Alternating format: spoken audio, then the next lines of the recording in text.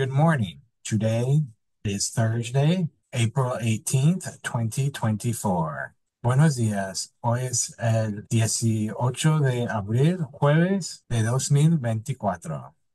We will now have the Pledge of Allegiance. Good morning, my name is Angie, and I'm in second grade. Please join me in saying the Pledge of Allegiance. Ready, begin.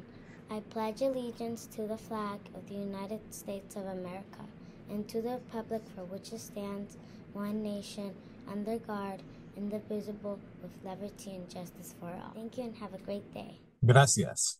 Thank you. Thank you and have a great day. Gracias y tenga buen día.